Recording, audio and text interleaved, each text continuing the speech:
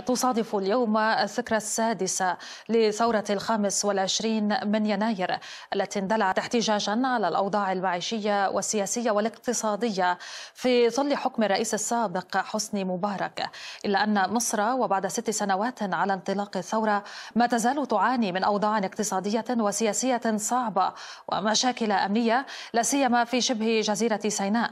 وقد سادت حالة من الهدوء في شوارع القاهرة والميادين الرئيسية في المحافظات المحافظات وسط إجراءات أمنية مكثفة تحسبا لأي مظاهرات. الذكرى السادسة لثورة الخامسة والعشرين من يناير. الحدث الأبرز في تاريخ مصر المعاصر والذي ما زالت تداعياته مستمرة. ساهم نجاح الثورة في تونس في انتقال الحماس إلى مصر. بدأ النشطاء المصريون أكثر شجاعة في إسماع صوتهم وخصوصا بعد أحداث تفجيرة كنيسة القديسين ومقتل سيد بلال وخالد سعيد على يد قوات الشرطة.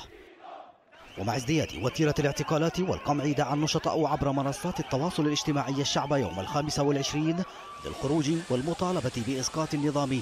فكان هذا الشعار. يسقط النظام فكان القمع والتنكيل بالمتظاهرين حاضرا. عند السادسة من مساء الجمعة الحادي عشر من فبراير أطل نائب الرئيس عمر سليمان ببيان مقتضب ليعلن تخلي مبارك عن الحكم. تخليه عن منصب رئيس الجمهورية نقلت قيادة البلاد إلى المجلس العسكري بقيادة طنطاوي الذي أعلن أنه سينهي حالة الطوارئ فور انتهاء الظروف الراهنة. القوى السياسية التي شاركت في التظاهرات قبل تنحي مبارك أعلنت عن استمرار الثورة حتى تحقيق الأهداف الاجتماعية التي قامت من أجلها. في السابع من إبريل عام 2012 حزب الحرية والعدالة الجناح السياسي لجماعة الإخوان المسلمين يرشح محمد مرسي لخوض انتخابات الرئاسة. في نهاية نيسان إبريل من عام 2013 انطلقت حركة تمرد تطالب بانتخابات رئاسية مبكرة وتدعو إلى سحب الثقة من مرسي وإلى مظاهرات يوم الثلاثين من حزيران يونيو. تمرد واجهه حراك شعبي مساند للشرعية اتخذ من ميدان رابعة والنهضة مركزا له. وفي الثالث من يوليو تموز يتدخل الجيش الذي كان يقوده الرئيس الحالي عبد الفتاح السيسي ويعزل الرئيس المنتخب محمد مرسي ويهاجم المعتصمين في ميدان رابعة والنهضة حتى يفك الاعتصام.